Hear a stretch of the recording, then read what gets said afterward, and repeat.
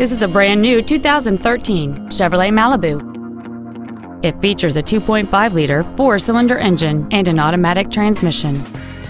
Its top features include a navigation system, a remote start feature, heated front seats, a low tire pressure indicator, big 18-inch wheels, and traction control and stability control systems.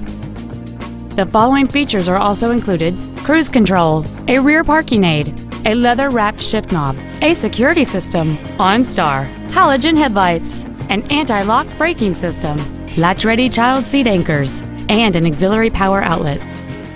Stop by today and test drive this vehicle for yourself.